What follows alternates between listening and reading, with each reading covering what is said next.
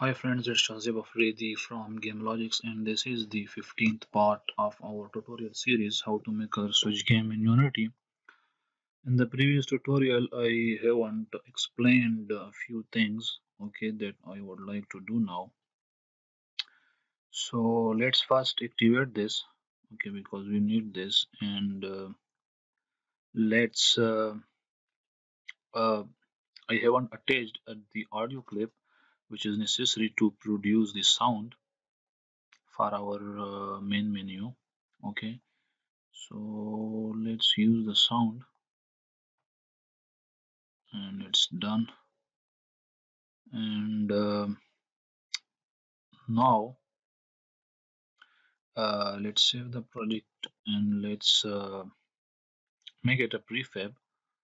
So let's drag and drop uh, this background menu and music into the prefabs folder. So now it has become uh, a prefab. Okay and one thing that I need to do is uh, we don't have our feather collar attached to our uh, main camera which is necessary. The same thing that we did in our uh, splash screen scene okay? I'm gonna do that as well here. So let's do that let's attach this feather color here. Now it's done. Let's save the project. Okay and uh, let's see that we uh, do we hear the sounds or not. Let's play the game.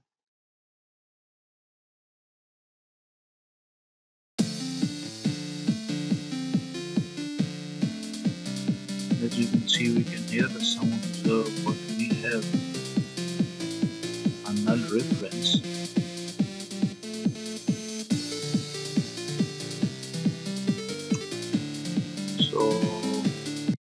let's fix this first.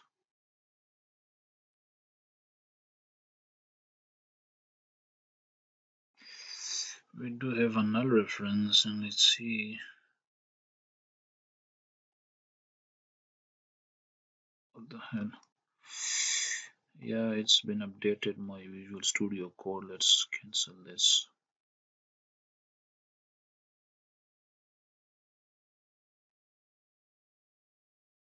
instantiate fader prefab.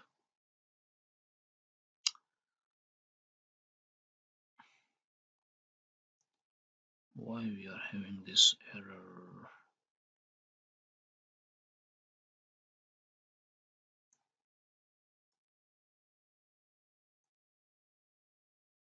Yeah I have uh, kept the original um, project open for a reason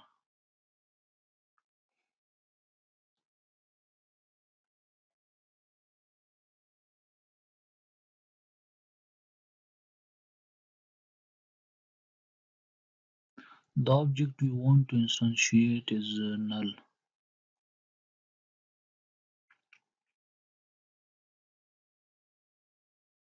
We have some problem in our screen fader singleton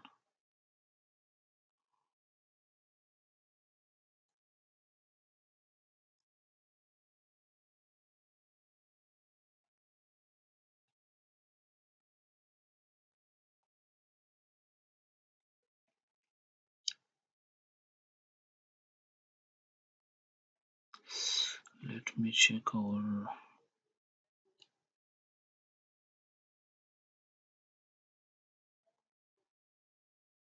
prefabs fader canvas.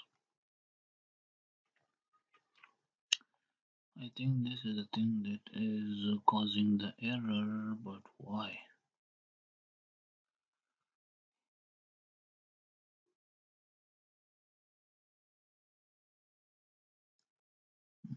let me see in the main menu. Oh we are already in the main menu scene. Fader canvas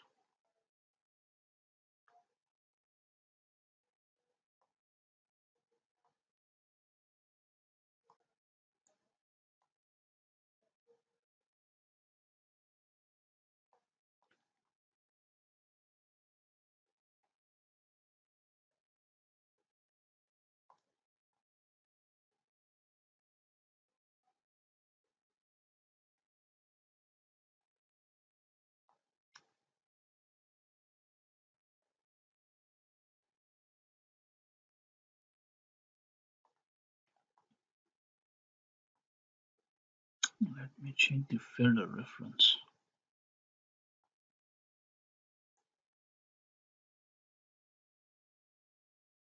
It's should be fine. Let me run this.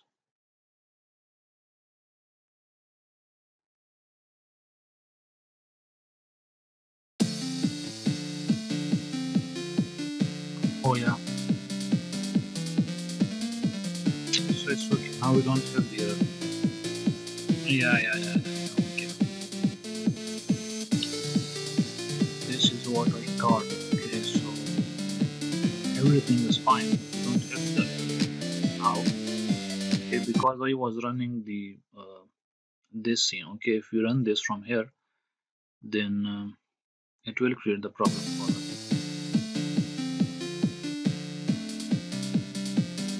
As we can see because uh, it takes the fader canvas prefab from that uh, from the splash screen uh, scene okay? And we have used uh, this uh, thing here okay? So it's a prefab here okay? So it, it takes the uh, parent canvas here and then it does its thing okay? So that's why it looks for the prefab and uh, it doesn't find that. Okay so we need to like we need to play the game from the splash screen. Uh, scene okay I think that you got the idea. As you can see here.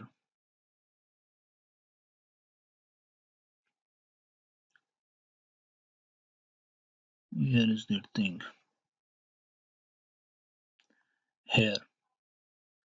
Screen fader singleton awake. Let me show you this. Screen fader singleton awake. Okay so it looks for our fader reference. And then uh, fader reference is uh, not present here in this scene. Okay so in main menu scene. So it's not present here okay so it looks for uh, that fader reference. And then what it does it checks our uh, fader reference. Okay. So here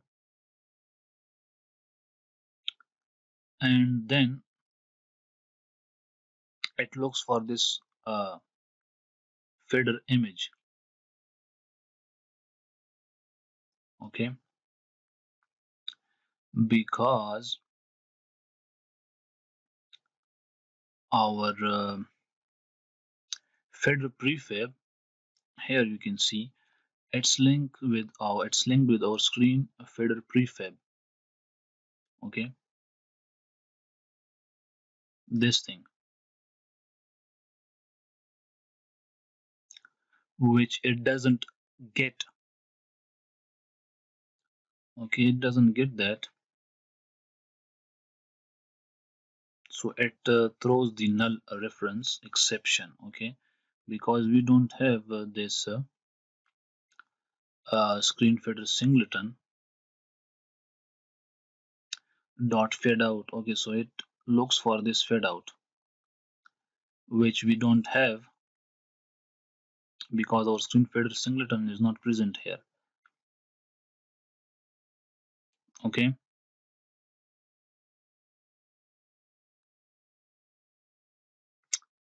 so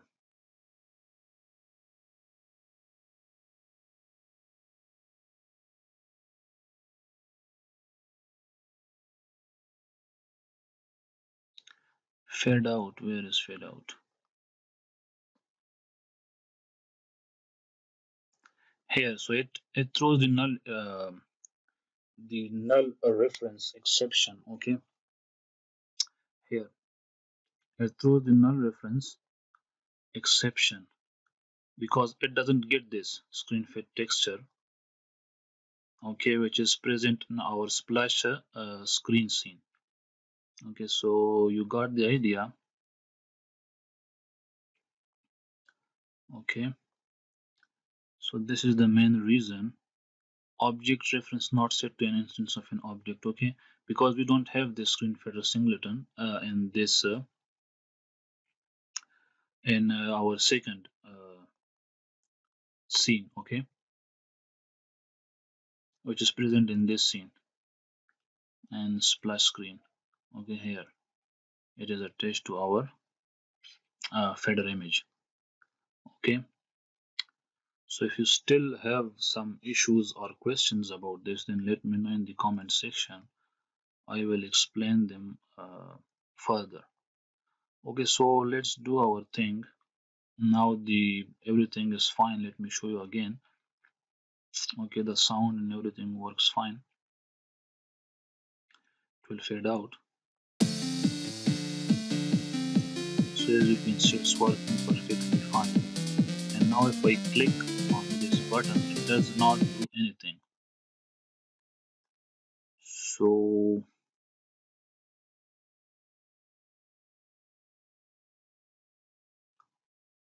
uh, it doesn't do anything because we don't have uh, another uh, scene. Okay so um, let's create another scene. Mm, new scene. And uh, this should be called uh, should be saved here. Gameplay so this will be our gameplay scene. And uh, I am going to create uh, a script um, which will be called our end game canvas controller. Let me show you which one script. This will be this one. This okay here. This script. Let me disable this. Okay. So like uh, when we are playing the game let me show you and the player gets out like this and the end game canvas gets displayed. Okay this. So now I am going to write the script for this and then we will create this canvas okay in the next tutorial. Okay so let's do that and uh, let me cancel this project this original let me close it don't save it's taking some time. Okay. So let's create the script. And uh, end uh, game. And game canvas. Uh, controller. Okay and let's write the code. So first of all I don't need uh, these two namespaces and the namespace that I'm going to need is let me show you first. And yeah one other thing that I forgot to explain what the hell is here. The thing that we yeah rotate object. Okay so in the previous tutorials uh, I remember that I have shown you uh, uh, for the play and pause function um, it was which one? Which one which one? Yeah this one. So here we have used another property of time which is uh, where where where where where?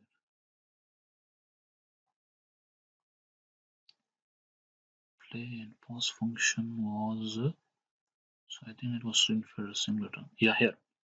Hmm. yeah.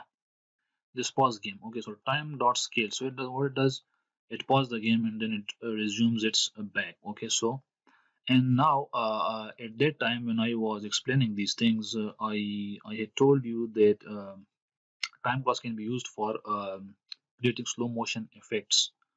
Okay so that thing we did in the previous tutorial in the part 13th okay? Here uh, this time dot delta time it uh, returns a very small value like in milliseconds in like a thousand part of the second or you can say a 2000 part of a one second okay? So when when that value gets multiplied with our rotation uh, which is equal to 90 uh, along z-axis so when that value gets multiplied to our rotation uh, that rotation also become uh, very smaller. Okay its value becomes very small. Um, let me show you by a simple debug and then we will write the code. Okay so time dot delta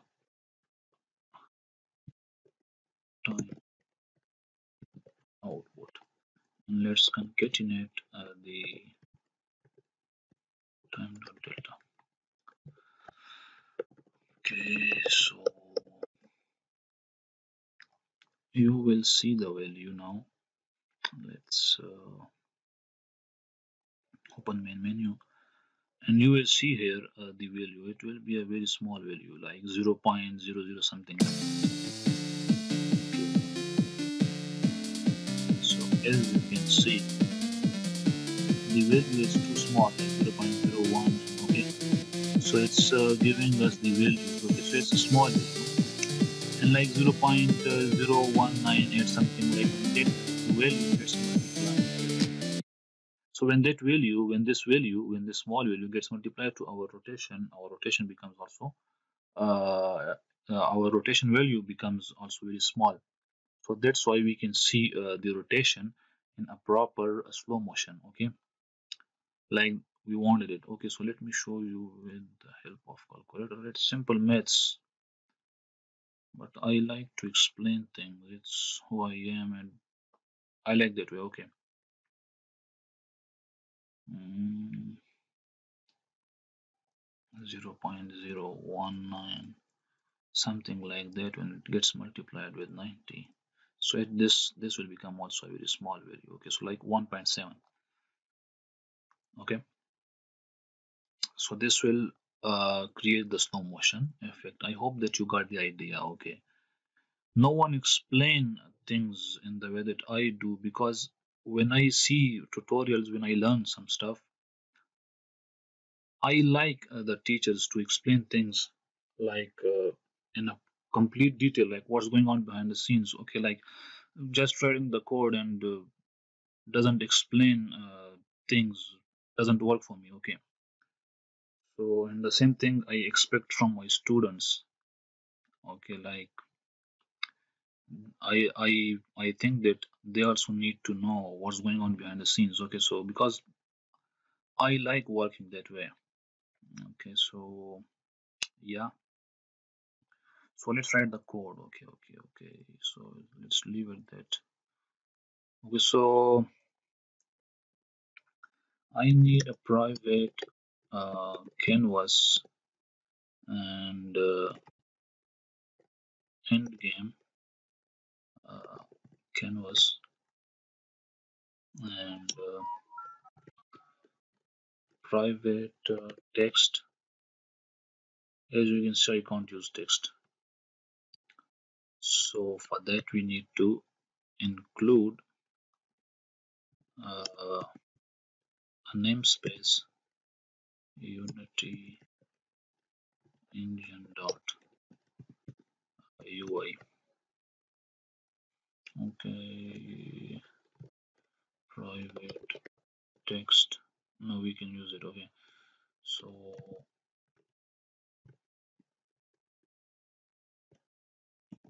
current score and uh, highest score.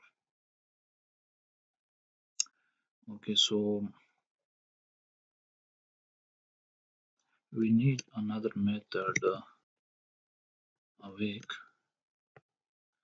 Okay. Awake. And uh, in the awake what I am going to do is uh, I will use this current score and the game object dot find. Uh, current score field um, dot get component and uh, text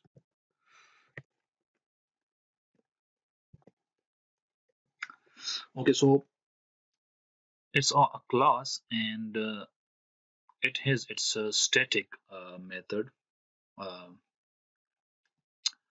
it's a method of our game object class finds a game object by name and returns it. What it does uh, it simply looks for uh, a game object okay by its name and where does it look? It looks for here in the hierarchy. Okay so it will look for uh, the uh, current uh, score field which I haven't created yet. I will create it okay in the upcoming tutorials. So it will look in the hierarchy and will uh, find the current score field and the spelling should be exactly the same like we did here okay. So it will look for uh, uh, the current score field and uh, then when it finds it okay the spelling should be exact. When it finds it it will get that and will assign and will assign that current score field text to this current score which is also a text. Okay so i think that you got the idea. Let me do this for the highest uh, highest score. And then game object dot find. And the same thing uh, highest highest uh, score highest score field. And then get component.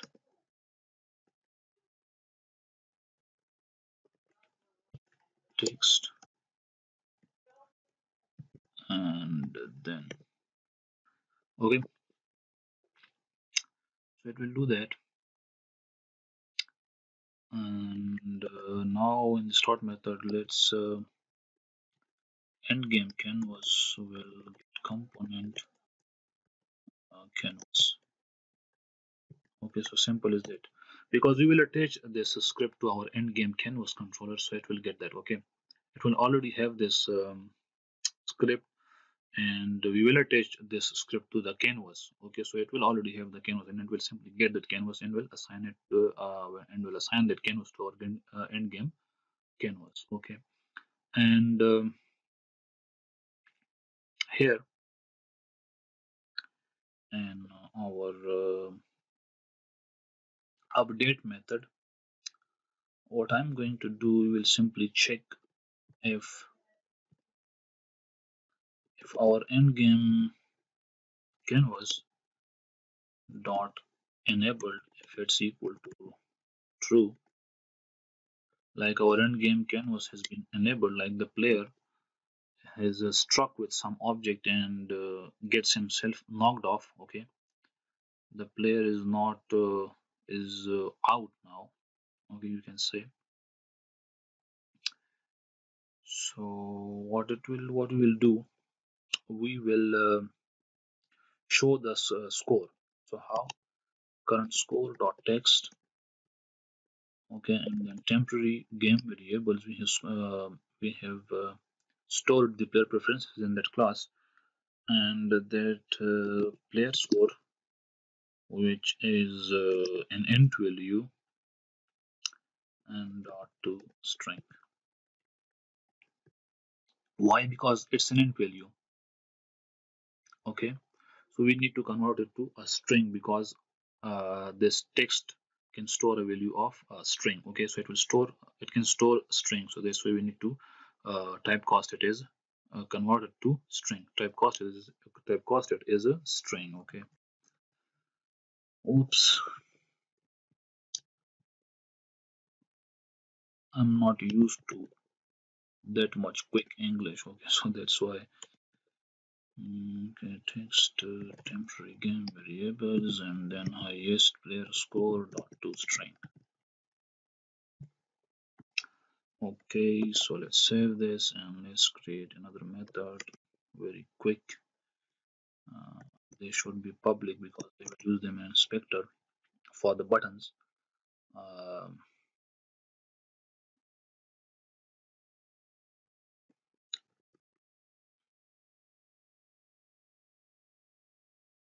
replay replay button. We should call it replay button. And uh, it will be like uh, screen fader singleton dot instance dot fade and uh, fade and reload. Fade and reload level yeah. Okay so simple. Another one should be for our uh, public uh, main menu button main menu button. For singleton. Okay dot instance dot fade and load previous level. Okay so it will take us to our main menu level. Like we are in the gameplay scene so it will take us to main menu okay? So yep let's save it and uh, this is it for this tutorial. If you haven't understood anything if you have any problems uh, then let me know in the comments. And if you haven't subscribed my channel then uh, do a subscription because your support means a lot okay? It will keep me motivated. And press the bell icon for notifications and see you in the next tutorial